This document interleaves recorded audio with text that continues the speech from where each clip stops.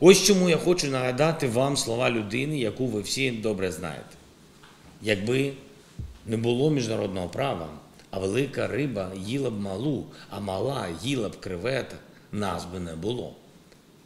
Це мудрі слова, дуже мудрі слова Лі Куан Ю, лідера, який умів бачити справжні причини багатьох речей і процесів, і який знав, що дійсно потрібно цінувати. І ось чому я зараз у цій футболці. Ось чому відгукнувся на прохання дівчини із Сінгапуру.